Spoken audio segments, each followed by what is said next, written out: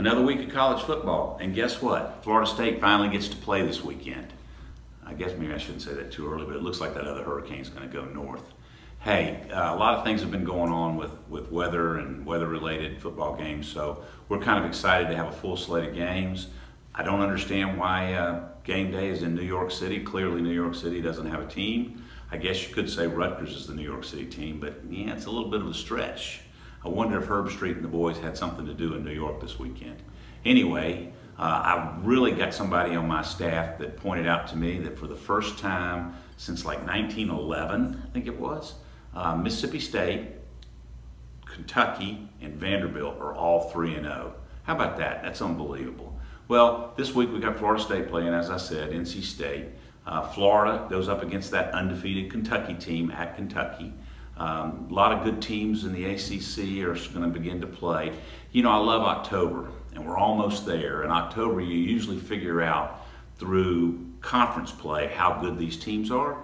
But now, all of a sudden, with Kentucky and Vanderbilt both being pretty good, over the next few weeks, maybe we'll find out. Mississippi State Georgia, a really big game. Uh, not because they're intra-conference rivals, one from the East, one from the West, but to really find out which one of those two teams is an elite SEC team. So we've got a special thing going on this week. Uh, the College Football Playoff uh, Foundation honors teachers, and this is the week that they're going to honor teachers.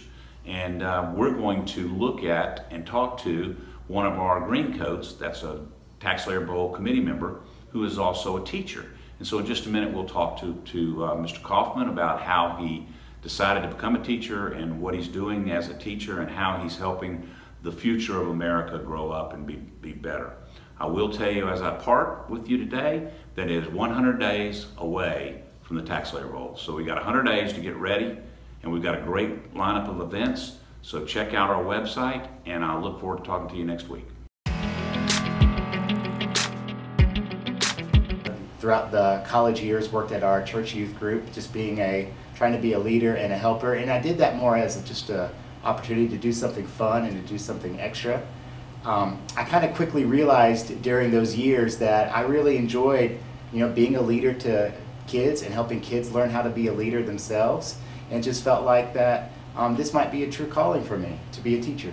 Teachers would say, and I've always felt this way, that when that light bulb goes off in a kid's face, in a kid's brain, that they are um, getting it, that they understand what you're teaching, that doesn't always happen when you're in front of a bunch of kids. And for those, especially those students who are struggling with their academics, working with them over and over again and reteaching the concepts and just seeing their face light up when they have that confidence and when they know they can answer a question on their own is just a wonderful feeling.